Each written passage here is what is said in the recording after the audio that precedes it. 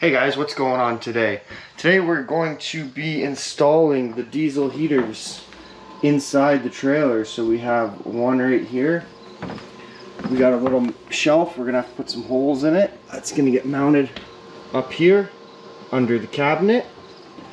We have a little diesel fuel tank to support it. We're gonna get power from the heater from our previous video when we installed the battery box and the inverter for the lights we have an exhaust port that's going to go up here out the side of the trailer and then we also have a little intake port that's going to come in near where the power wire comes in for the inverter charging system.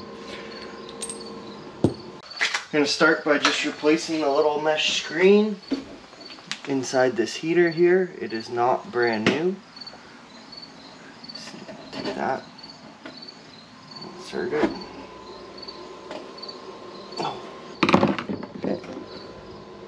Should take this guy here and thread him in.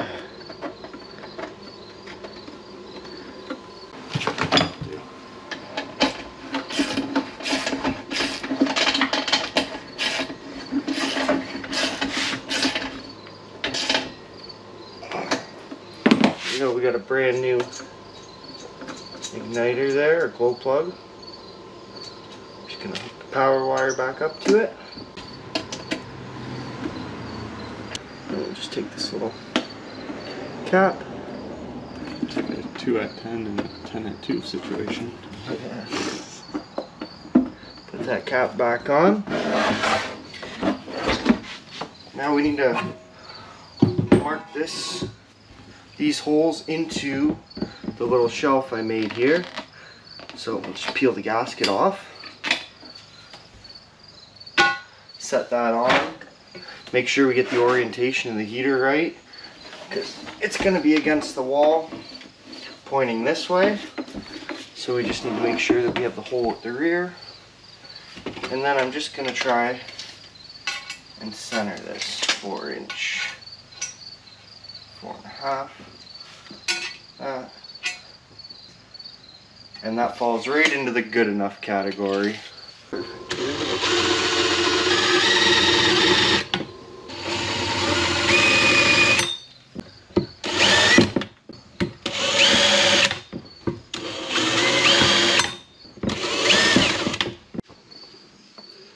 We're just gonna mark 16 inches apart here to get the studs on the trailer wall and pre-drill a couple holes. Okay, what we're gonna do is we're gonna lift this into place, the shelf mounted with the heater. I'm gonna repurpose two of these holes here. Hey guys, not sure exactly where we left off here, but we're gonna continue on with the heater install. So I have our rivnets in the wall to hold the platform for the heater. Okay, we have our mount right there that the heater is going to mount on. So I'm going to go ahead and get that installed and then we'll be right back. We have the shelf here installed. Okay, here's the heater tucked away nicely under the shelf. I'm going to put a little hole right here to pass the plug through.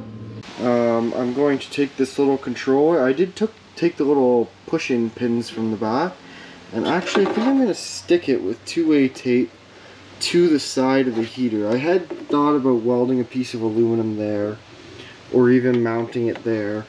But after looking at this, I think what I really want to do is stick it to the side of the heater here. Now this works because I am actually going to make my own wiring harness. I'm not using the harness they provided. So I'm going to wire these in direct to the plug here. I'm going to run my own power and my own ground. I'm actually going to cut this plug off and drop it through that hole there. And I'm going to drill another hole to put these wires through. And we're going to stick the heater or the controller right about there roughly. I think that would look nice. So I've attached a couple wires here for the controller. We only need to get one power from the battery now. I have drilled a little hole here as you can see. Okay. The wire is going to follow behind. Another little hole here. Up into the cabinet. I'm going to install a fuse holder for power. I'm going to send one more wire through these holes to provide ground. Okay, this might be a little hard to follow because I've used black wire for everything. But basically what I've done is I've run two powers and one ground for the heater. I'm going to tape all those together nicely so it's one, one solid piece, right? Two powers, one ground. So I have the ground already hooked up. I have one power here hooked up, no fuse in it. The next power here hooked up, no fuse. The one with the small wire is going to power the controller and the one with the big wire is hooked up here powering the heater okay we have a little splice here to send the ground down for the fuel pump not sure exactly where I'm putting that yet but that's where we're getting our ground for the pump and then we have our fuel pump control right here this green and red wire everything else here is not needed except for this red wire which needs to be hooked up to this wire. I haven't cut it yet. And then I'm going to take everything and tuck it up and tape it up there nicely. So I did myself a favor here and I hooked up the fuel line to the tank before I mount it to the wall just so I don't have to do that from underneath. And I think I'm going to set it right in here beside the breakaway box.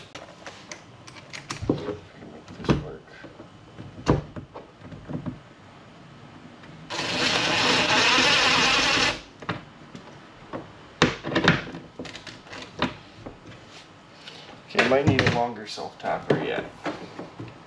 But there we go. We have this guy here, which can be cut right there.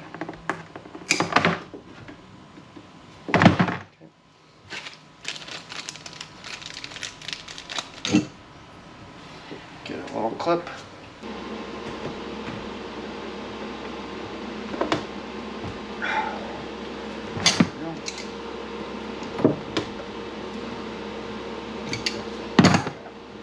gonna have to grab a different style clip as well.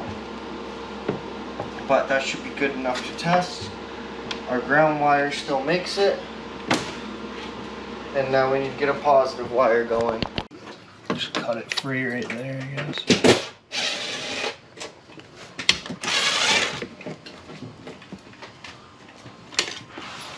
Think I'm gonna pick a screw.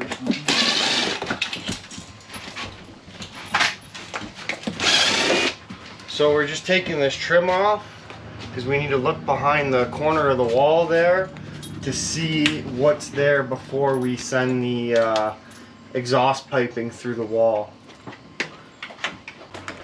Easy. Oh, did you want this one? Yeah, we gotta cut that one too.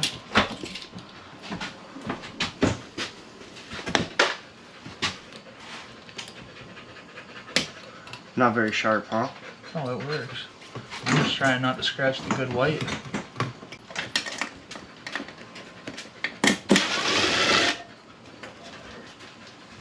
Just trying to pull it free of that caulking. Aha. You got that corner brace and wires coming down.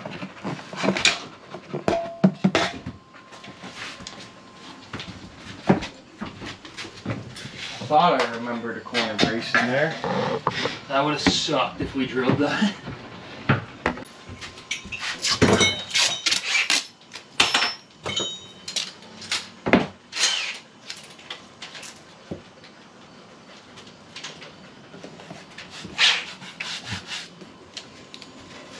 I'm just trying to roughly follow this just for an idea. Oh fuck, there's a thinker right there. I feel like unless you didn't ram it. Oh, on if it's there, it's gonna get ripped out in a second. Number four. By the order. Going to put it on a strip just in the middle so it doesn't tear. Sure.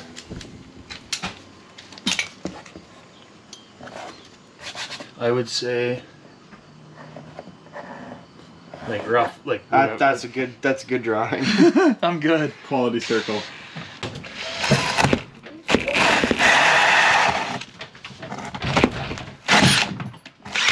Just to find, just in case it gets in this shit, you just lock that hole. Pull that pipe through.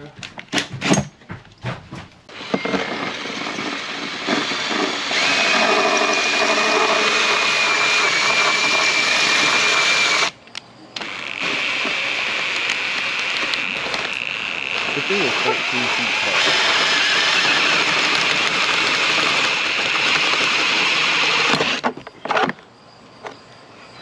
Nice. Beauty. Sit on it first. Oh. Oh, baby.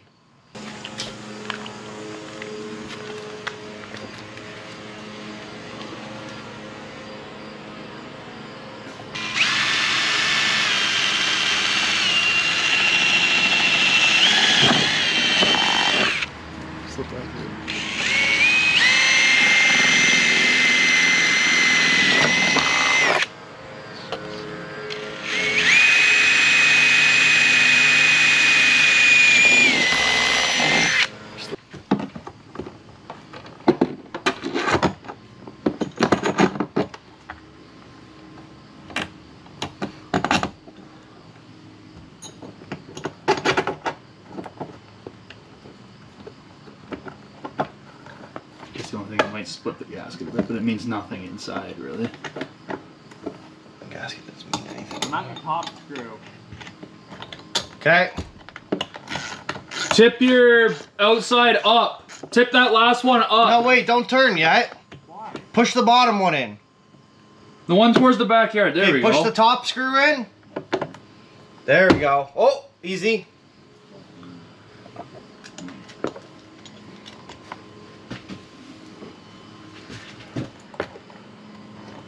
Okay, what screw you on? Top one. Okay, I'll turn. Fine, just hold it. Yeah.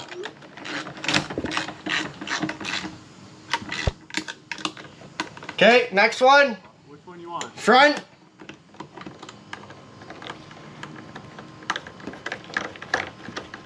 Put it in deep?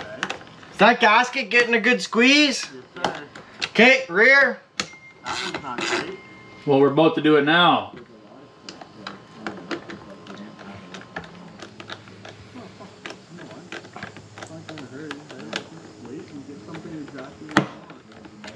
Does that front one need a little more? Yeah. Oh yeah.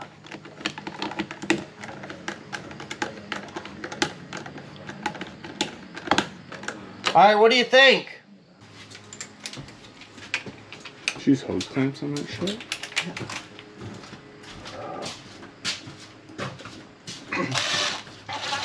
Not drunk, I swear. It's hard to do shit when people are moving around in here though. The trailer The whole fucking trailer moves, it hops and shit. There You you need And hold it. Exhaust is good right here. Oh, nice. It's actually not a bad distance there. There we go. So then I can Put a little clamp right that there, yeah. to the wall. What'd you what'd you do? Hose clamp to the wall and then run this?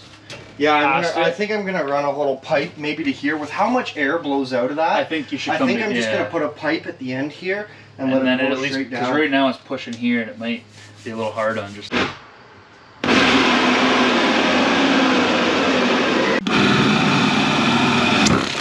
What if I were to run it like? You're gonna get a kink in that. Oh, that's perfect. Just cut my finger on fucking shards of metal Yeah, Hey guys, next day here. So I'm going to work on cleaning up this heater install a little bit. Okay, I'm gonna take these wires, tidy them up a bit. I'm gonna get some two-way tape, tape the heater controller there. Um, I'm going to clamp these pipes here to the wall. This exhaust pipe gets incredibly hot. I'm gonna have to make some kind of little heat shield for it. Um, I think what I'm gonna use for that is the little uh, crown molding trim that I cut when I installed the extra cabinet. So I'm going to make a little heat shield along the wall before I install it. We're going to push this over the wall just to make it a little neater, hopefully a little straighter. We're going to see how much we can get out of that. just kind of clean up the bends and make everything look a little nicer. Okay, I'm back. So we've cleaned up all the wiring in here a little bit. I did leave the fuses loose a bit at the top there. Down the side, cleaned up. Cleaned up under there. I finally tied in the wire for the inverter charging cord or the pass-through power or shore power cord. Actually, I think I'm gonna put one more one more clamp right there. And then come on down. Everything's tied up tight. I put a piece of this trim here as a little heat shield for the wall for the exhaust pipe. Now one of the things I don't really like, and I may find a way to do this, is I might take this self-tapper out, maybe put a riv nut in the back, and space this exhaust pipe away from the wall a little bit more. It does get very, very hot. Um, so I am going to maybe adjust that. I'm going to give it a little test run right now and see how hot it does get. Uh, I did forget to put some two-way tape here, but I will be doing that as well. If you guys like this video, please drop a like. And what we're going to do here is just give it a little test run and see, see how it performs. Now, I'm going to put it up a bit today. Can't, I don't know if you can see that. It's just white. I put it to 26 degrees Celsius just to outpace the uh, just to outpace the ambient temperature. One thing I do want to change is I want to change this this hose clamp here. One, it doesn't hold this pipe on very well, right? And two, I want to put some muffler cement in here, just secure this a little bit better because I don't want any exhaust gas leaking in the trailer. Same thing goes right here. I do not like the hose clamp that came with this. It did not come with this heater. Uh, it came with the exhaust pipe I purchased and I'm gonna swap that out. For the intake side, it's not such a big deal. Down here, I still have to put a little bit of, um, I still have to secure that as well, put a little bit of muffler cement in there. But for the most part, everything is tied up nicely and it's clean enough that I'm happy with. Probably going to put a little bit of a guard here, just something. Maybe I'll get those caliber edge glides, edge glides, flex glides, uh, and I'll put that as the strip here so the ski cannot bump or catch any of this, whether it's fuel line or exhaust hose and rip that down. So that's a project for another day though. Currently I'm happy and we're just going to give this a little test.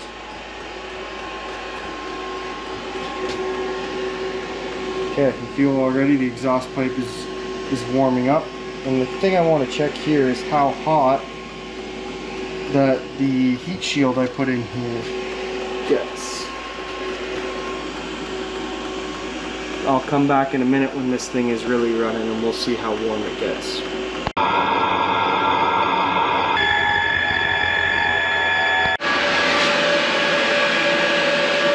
Okay, just coming back in here, this little heat shield does get quite hot quite quickly. Um, not everywhere. And it's not actually hot, I can hold my hand there. It is quite warm though. So I may wrap this exhaust pipe. Or I'm thinking actually it's probably better, how hot's that? It's probably better if I just space it away from the wall a bit. Further I get it, obviously the, the less heat we're gonna have flowing into the wall there.